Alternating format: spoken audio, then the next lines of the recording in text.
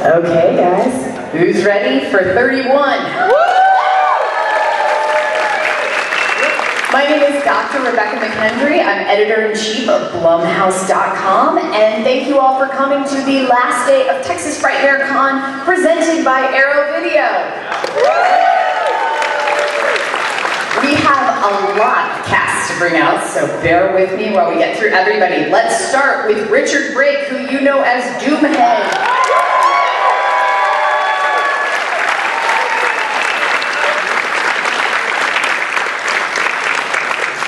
Next up, we have E.G. Daily, better known as Sex Head.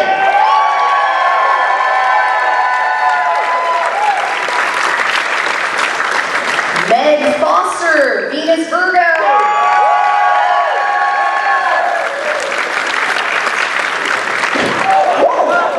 You doing good? That was a hell of an intro. Judy Geeson, Sister Dragon.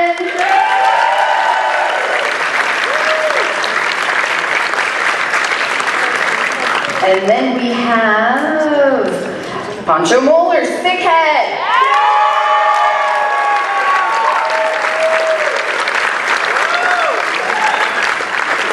We've got David Ury, Schizohead.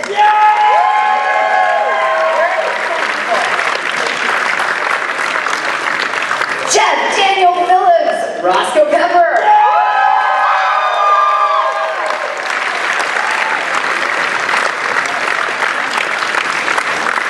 And last but certainly not least, we have Deathhead, Torsten Voges. Okay, I think I got everybody, right? We're clear? That was everybody. Awesome. Welcome, guys. Thank you so much for joining us this morning. Thank you. Excellent. So we're going to start with just a very basic question. When you first were presented with the script and material, what was your original thoughts about the script? What did you think about the project when you were first approached about it? Pancho? Yeah, I um, actually I it was an audition, just a regular audition for me, um, and they didn't tell me that it was for a Rob Zombie movie. I had no idea. And so when I got casted on it, that's when they told me, hey, you're working on a Rob Zombie movie, and I had no idea. I thought I was just a killer clown, and then you get there, and it's like I want you to play a Nazi killer, scary, sneaky clown, and then you do. Just jump off the cliff. you know? I was, I, I, I, I really like the script. I, you know, just in and out, you know, short but sweet, just like me. Get out of here. Yes, others, what were your first impressions when you got the script or when Rob approached you about it? Yeah, man? I was happy. um, and it frightened me. and I was excited to see everybody. And it was a gift.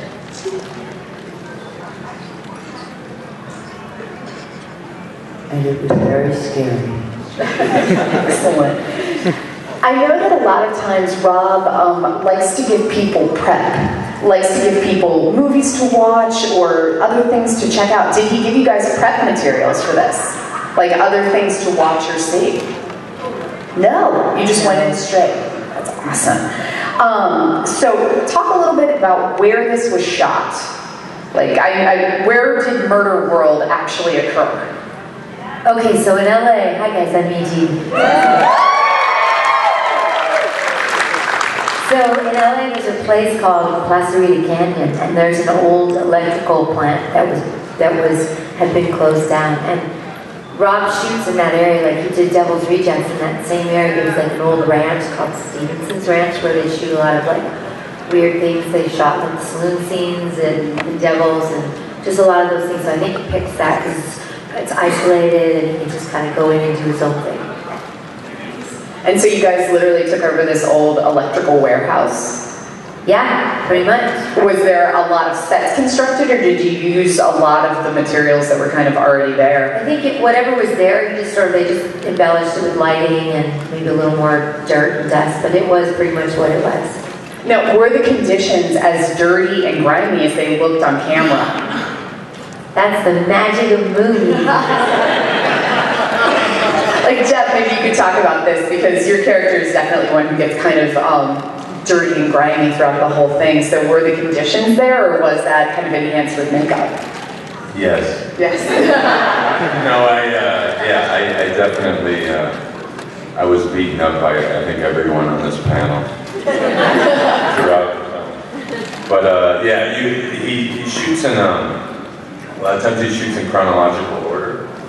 So it works, it's a great strategy because by the end of the shoot, you are as tired and bruised and beat up and, you know, sleepless and, and out of your mind by the end of the film and the end of the shoot. So, uh, yeah, it was dirty, it was grimy, I was beat, and, uh, and I'm Beat so his friends with everyone. Yeah, beat his ass. How long was the shoot total? Uh, three weeks. Three weeks. So that's that's a pretty quick turnaround. It Um, wasn't, it wasn't as grimy for us, for Malcolm and, Jake we were completely dressed in white. If you've seen the movie, then you know. And we were shooting in an old theatre downtown in LA.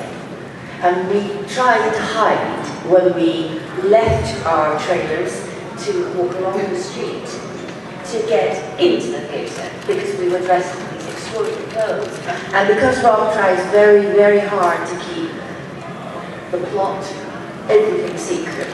They wanted us, you know, to cover ourselves up as much as possible, because obviously we looked, you know, strange dressed like that. In fact, I took my dog for a walk one day, and my dog was 80 pounds and white, with a lot of hair. And I walked down to Compton Street, and I walked down to Broadway, which is a major street, and a bus went by, and everyone just went, I couldn't work it out. Even though it was happening in LA.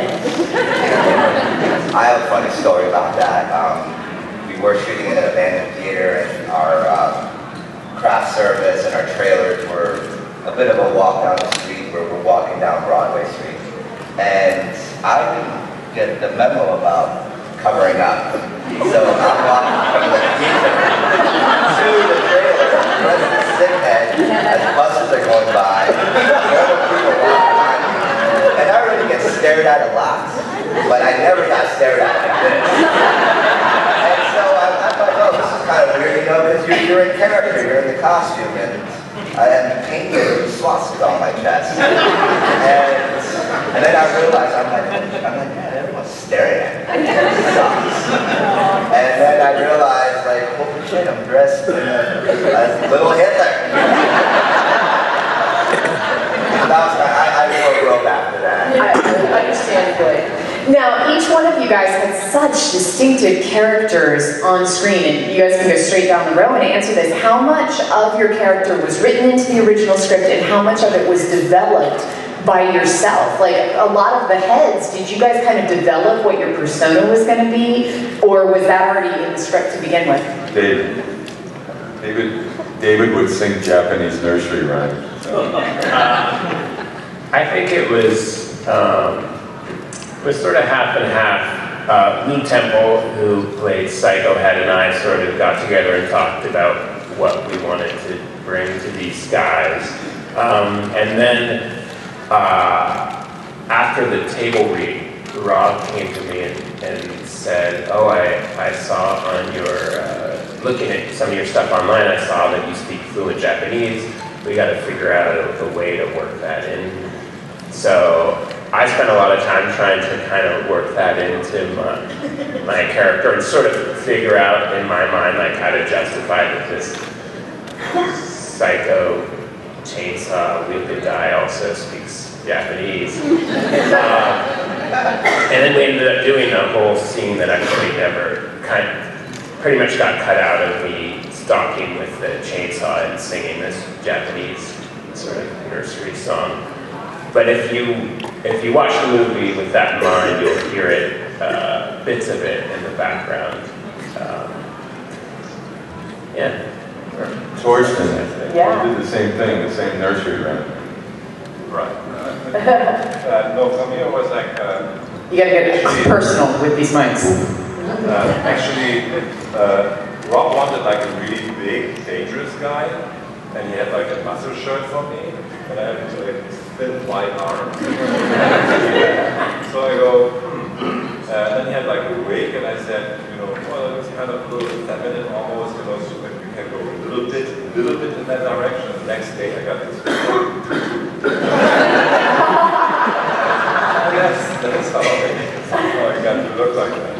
Uh, and then, uh, then I got, I came up with that joke and nursery rhyme and EG just kind of copied it, you know, so kind of, kind of uh, went with that.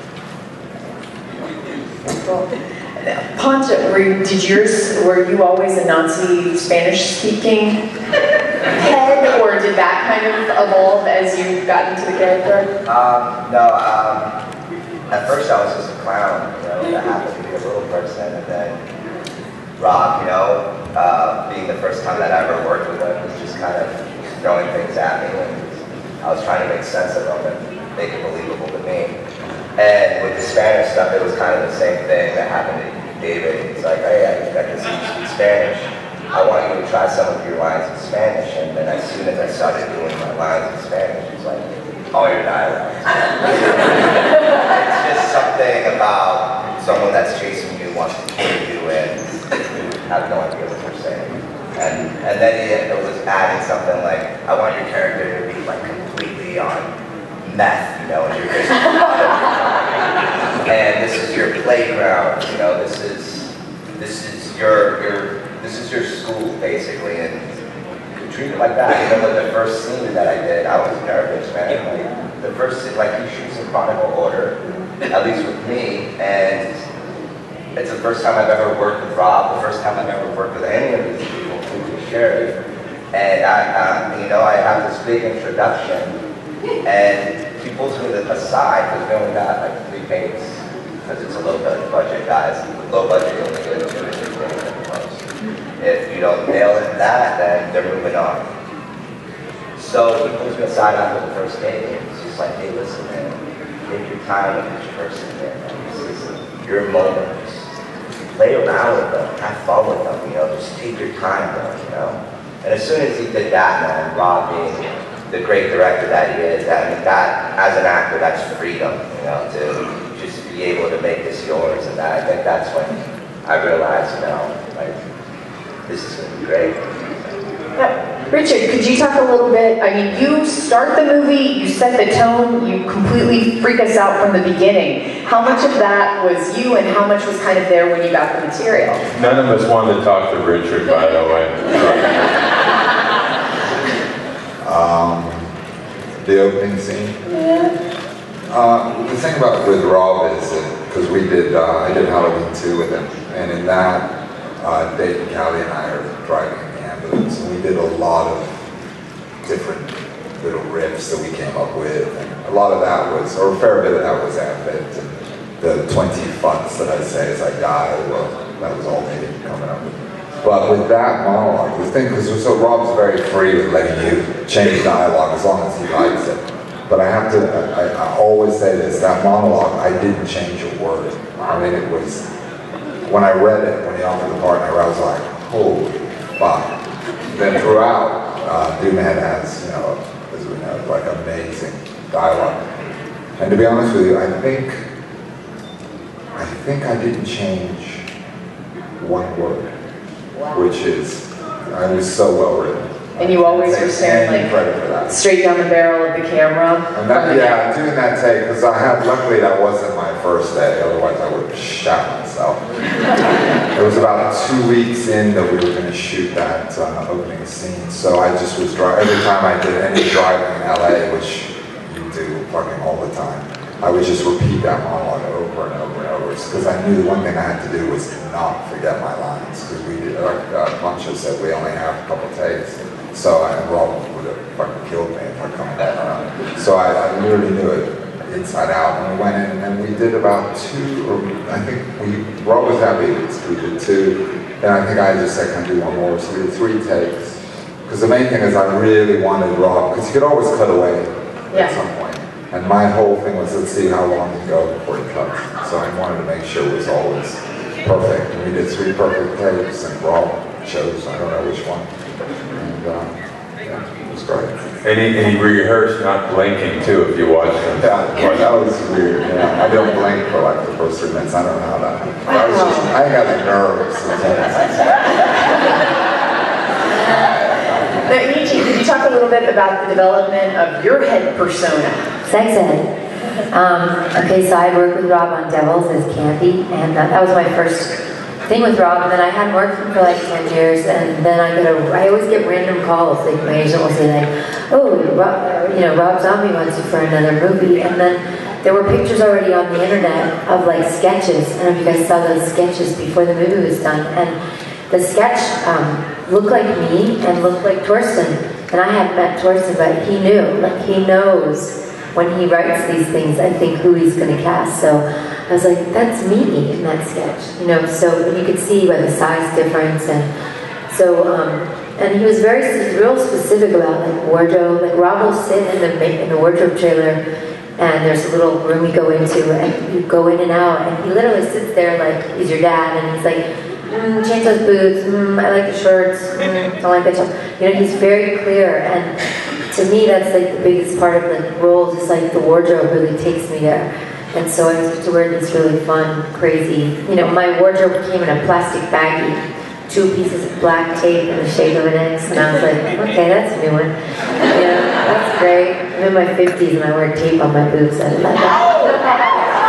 Hot.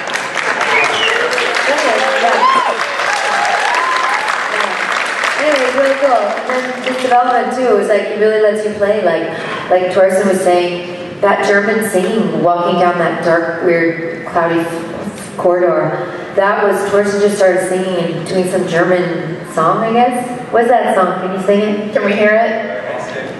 Hänschen klein, Hänschen klein, Hänschen klein, Hänschen klein, Yeah, I don't speak German, so I just imitated him and Rob loved it. What does this actually mean? I Have no idea. Nothing, it means like a guy walks down the street by himself, And kills your mother. Yeah. I think like it, but, but uh, and, and, and then he, he kind of gets scared while he's walking out, and then he runs back to his mom. That's basically the Yeah, it's weird. But he just lets us play. He let me play, and the characters sort of come, and then Torsten and I just felt we had immediately had this amazing connection, and I don't know whether it's like, or I don't know, we just had this beautiful connection, and our characters just have found this little life of our own. And so it was really Well, nice. That's a wonderful thing about Rob that he gets these people together, and, and, and it's like we all we love each other somewhat. Except for I don't like Jeff. I want to kick his ass. I was hoping that you could all say something about what Rob's demeanor is like on set. Um, you know, because horror directors all have different demeanors. Where like Wes Craven was very soft-spoken, and others are very controlling and tell you exactly what they want. Like, what is Rob's demeanor on set? Easy, he's easy, he's easygoing.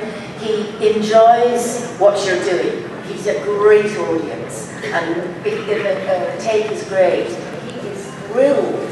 And so is his camera operator. On the first movie I did with Rob, I had a great speech he'd written for me. And when it was over, the camera operator just went, yeah! And I said, look, this is the way to work. They're all on your side. So the crew gets into it as well. That's awesome. Oh yeah, yeah. The crew are just as important to him as his actors, and they've all been with him a long time. He literally sits there, like, the first time I worked with him, he sit there, and you watch him sitting behind the, the monitor, and he just sits there cracking up like a kid, you know? It's really, really gets into it. It's beautiful. Hey Meg, tell us what you think. Yeah, Meg, you've been in a couple of his films now. So, how, what is it like working with Rob? Extraordinary. no. We all know that there are um,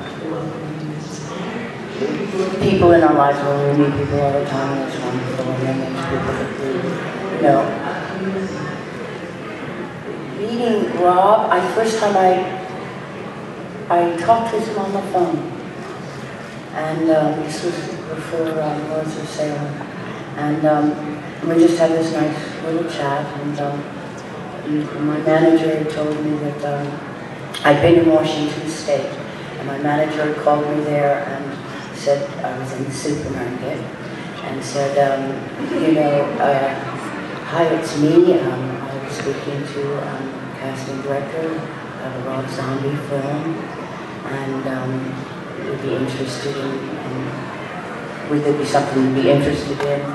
You would um, have to not have on clothes, and um, uh, and um, be playing a witch. And I said, well, I don't mind not having on clothes. I'm probably more comfortable not in clothes than I am with clothes on. And when then I had a telephone conversation with Rob. Um, we're both from New England. Um, I, um,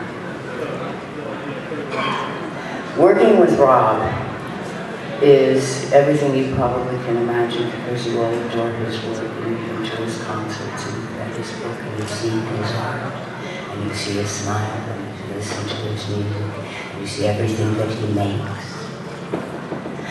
And it takes our breath away learning.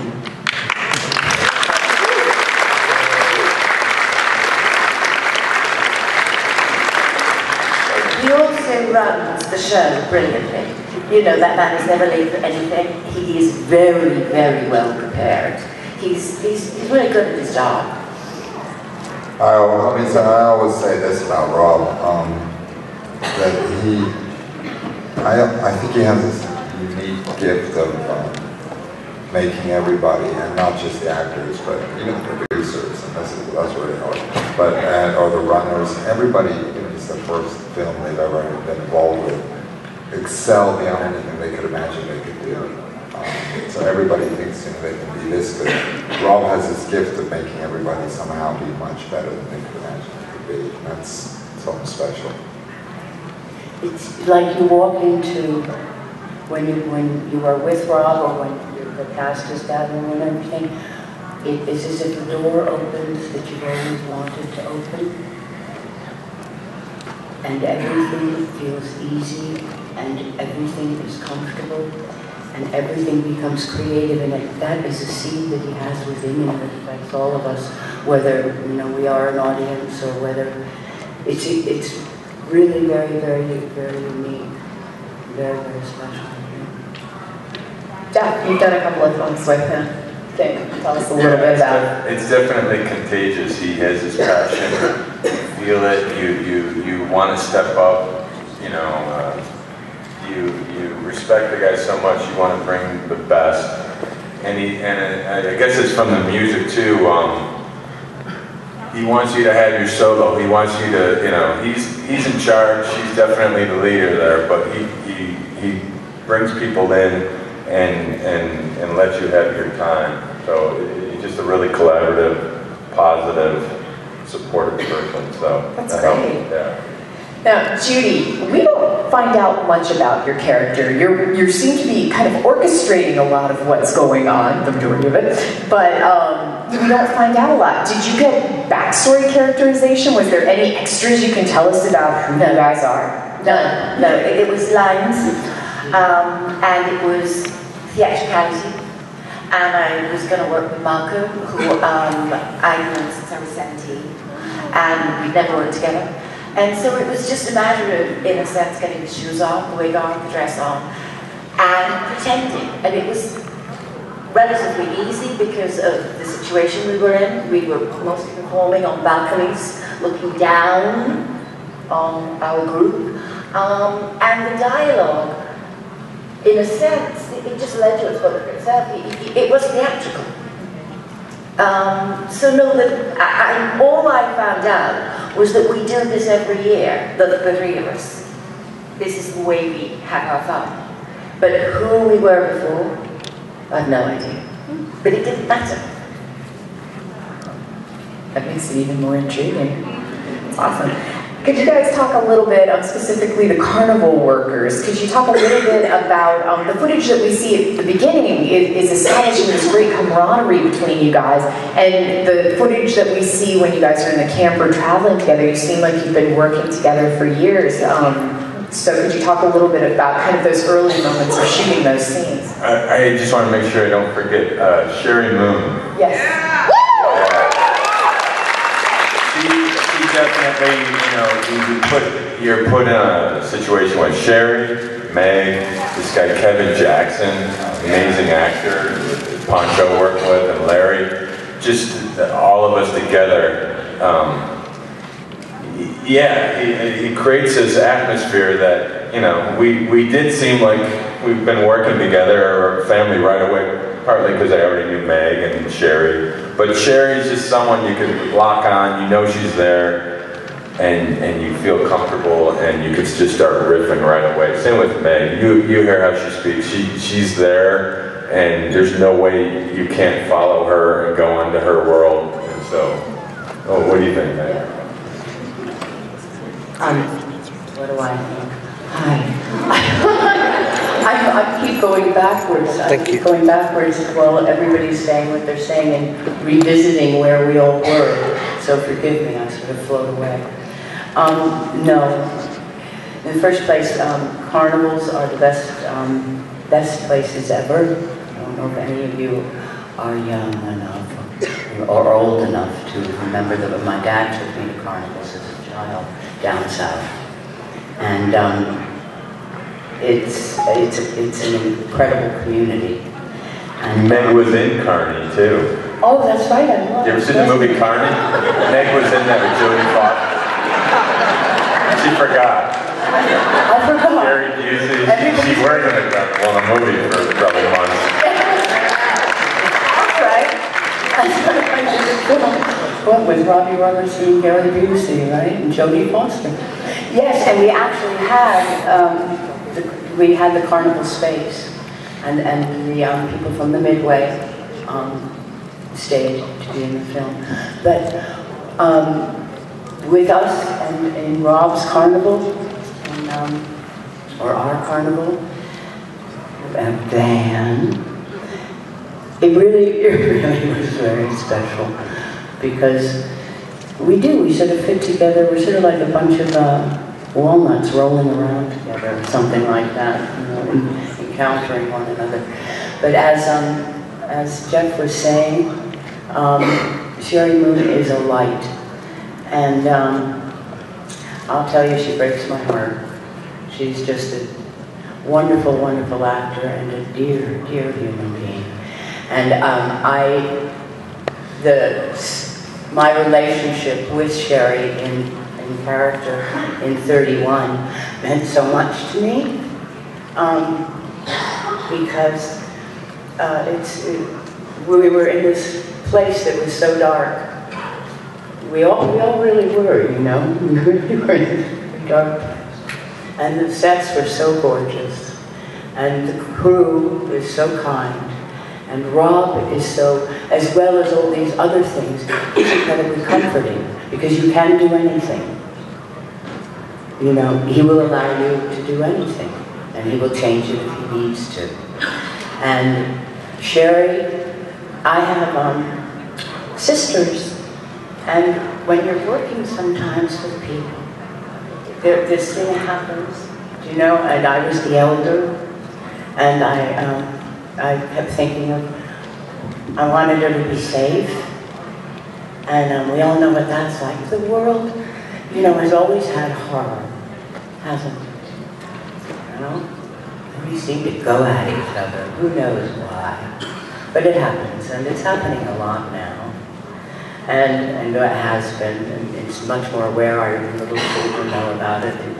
And so when we went into that place, you know, it was so beautiful. Remember seeing the tent? Remember the first time we saw the tent? Jeffrey? Yeah, I remember that time. Do you, Jeff? Really? Yes, you do. No, you're, but it's magic. The environment, the sets, you, you're in wardrobe, but then you step in, and it, it really is breathtaking. I totally understand because the dinner scene was beautiful. Like the actual set around it was beautiful, and then it gets really gross, but it's beautiful. Now we went from surreal, You know, what Rob did with this film, truthfully, I mean, speaking about the horror, it was, it was like he made Hitler. You know, he gave us all these people, the French, who were running around beheading everybody. You know, the goons, people that just walk around and kill. You know, those people in the world. He gave us a history, really, of absolute terror. And, and that he picked, which I think is extraordinary, and I know that there are certain reasons, but the, the four people, or the five people, however many they were, but the Carnies, you know, who are very strong people, um, was fascinating to me. Very. Well, what, what I really found fascinating when I met him, because I didn't know him when I did Lords of Salem, I felt like it's like a rock musician, so he really has that, probably that kind of energy, and it's sort of aggressive and loud and does all that, and he's the complete opposite. You know, so you kind of feel like, Yeah, he's like the most stuff. and then I found out how that probably works because I did a music video with them on Lords of Salem, the Vice and the Fiend Serpent. And I have to Count know, to, go through this whole process and I then put these two. And I'm usually like a little nervous and, and stressed out when I go home. You know, and I have some problems, let's say with plumbing or anything, I will always be uh, a little tight and a little difficult to, to deal with that. LA is really difficult in that sense. And that day when we shot that music video, uh, I did all the and then I went home and I was so calm. We had like shit in the bathtub or something like that.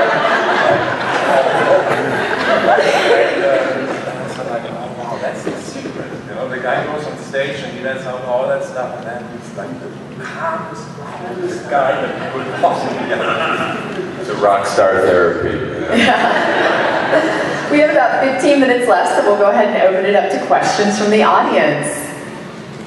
Yes, right over there. Even if it's a lie, can you guys just tell me when you hung out after shooting and, uh, and like went places? What? Could you repeat that one more time? A little louder, sir. You're a, a very eclectic class, or a cast, so even if it's a lie, can you tell me when you guys all hung out together? We did. Yeah. Uh, we went, we went up, a lot of us met up for some food Rock, uh, at a barbecue place. Right? And we all hung out at Sundance together, uh, for the premiere. Uh, and that's, and then we do these shows, and that's been one of the great things about this movie, is most of the time you do a, a job on a movie or TV show, and you have a great time with the cast, and then you don't see them again unless you happen to work on something. But we've been, it's been like summer camp for us Yeah. a lot of time. We like traveling fairs. Yeah. But the truth is that when we were making it, there's no time to hang out. You know, the, the hours are really tough. So, as, as uh, David said, it, we probably got to know each other better because of this, because we keep traveling together. Could you talk about the premiere at Sundance that you just mentioned? Um, what was it like seeing it with the audience for the first time, and what was the response? I think it was really Sundance was like um, sold out performances, and I mean the was, there were people were turned away. Everybody really wanted to see 31, and um, and Rob did a Q and A with everybody, and um, it was really a blast in Sundance because again we got to reconnect, and um, such an interesting group of people. If we walk on the street together, and everybody's like between Torsten and Jeff and me and whoever we're all, it's just like a it's pretty interesting. So Sundance was was um, really fun and yeah. Ever ever honestly, the after stuff of the movie is really fun because like I said, we do the signings and then we all go to dinner and we hang out. But it's like you get these little funny relationships with each other and we get to carry on. It's good. It's hard getting used to all the paparazzi around E.G. though. That was, you always had TMZ chasing her or something. Yes, other questions? Back there. Has Rob told you all if there's gonna be a sequel? No, never. We never know with Rob, right, guys? Like he literally, you never know what he's, he goes from like doing a major tour and then out of the blue you'll hear he's doing a movie and then you get this role. So from my experience over the 10 years, I had no idea I would ever do work with him again. And then 10 years later, the random phone call. So he remembers everybody and he knows where and when to plug you back in. Another question? Right there. How do you guys prepare yourself for all the killings? How do you prepare yourself for all the killings? I had that easy because I was actually a terrible killer. I didn't kill anybody. I said a lot, I talked a lot of shit, and then I got my It's all pretense. I killed someone. It's actually, it's all pretense. There isn't really that much preparation. You don't have to torture yourself into getting in the mood. You know, you just do it. But, but Richard, Richard uh, prepared though. He did Yeah, dead I just carcasses. killed so many people. it's just like going to sleep. you know, yeah, Jeff and I were supposed to be acting in our scene, but Jeff was trying to kill me for real. He was fighting me like a like I was really intimidating him. He literally was fighting me with all his might, Jeff, and I'm only little, and I had and I had bruises all over my neck, Jeff, and all over my Alright, uh, let me defend myself here. I had this crazy lady with knives, and, and I got a couple of It was rubber, Jeff. a couple, Ah. a couple of cuts, and then I decided, all right, E.G.'s kind of small. I'm gonna work her like a puppet, and the camera's never gonna know this. You are such an asshole.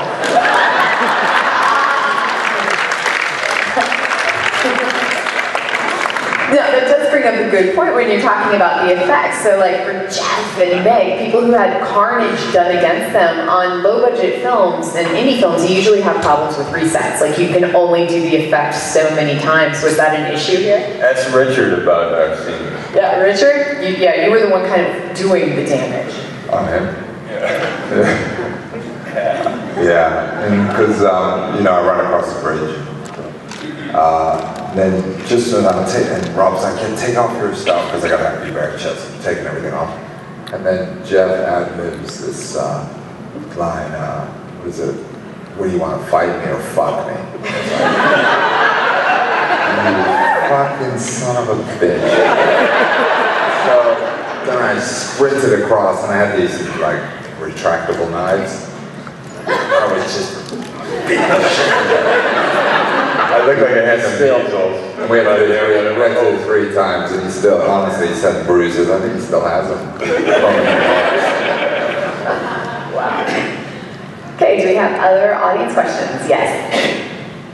I'm really sure like to where this uh, comes out right, but uh, you know, I was really excited for the movie for a long time. And it just came on and came on, and it was gonna come out, it was gonna come out.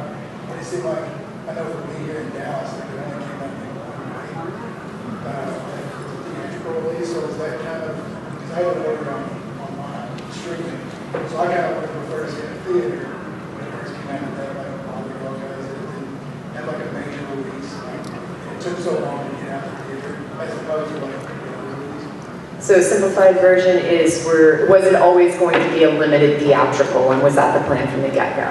I think honestly, Rob wanted it out real, for real out, and there were some problems with the distribution or something, and then, I mean, that's just the way it is with movies, like, you, you can do a killer movie, and then all of a sudden you find out, like, they're gonna kinda release it, and then they kinda don't, and they, then you know there's trouble, and usually it's like something having to do with distribution, and Rob always wanted to get it out, great, but then there were conflicts or problems, and then it kinda got a little release, and then they put back, and then a switch, so there's like things that are out of your control, but luckily, Rob's stuff is already has a built-in audience, so no matter what happens, it's gonna get out, and so we're lucky. They did no advertising, I think, at all, and so it was all through his social media. That just shows how like popular and how strong of a force he is. Uh, they didn't have billboards. They didn't have anything, right? So has fans. Now, there was also some problems um, with the rating that held it back a little bit, right? It was originally an NC-17, and most theaters will not play NC-17 movies.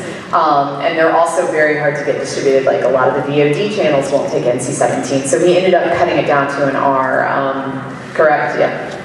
So that, that was probably part of the distro issue too, I would assume. And that got resolved. Um, when I asked Rob about it, he said it got resolved because they cut out, like, my slashing of my throat was a lot more intense. and they had to cut some of that, and there were a couple other really violent scenes. They literally just clicked a little, and that just was able to ride their, their rating through. Okay, other questions? Right here.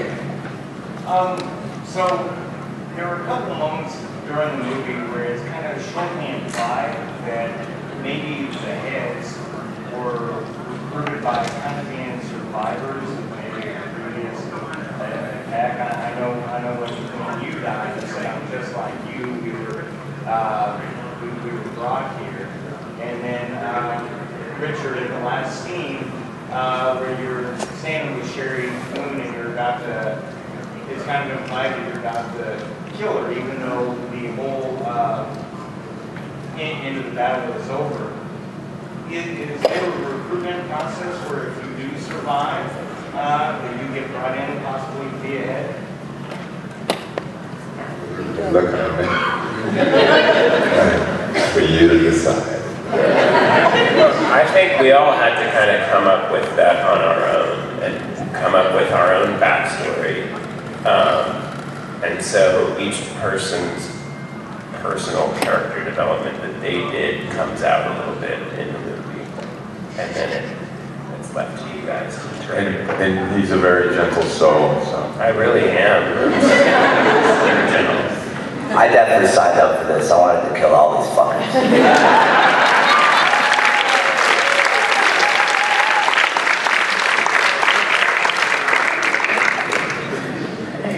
Okay, in the back there.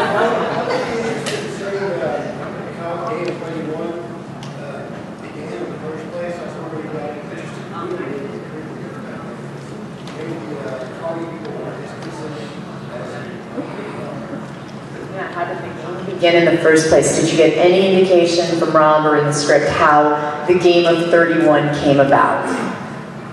No. No. I want. He, he also said he would like a prequel, so, yeah. I want a prequel too, because that won't come out in the sequel.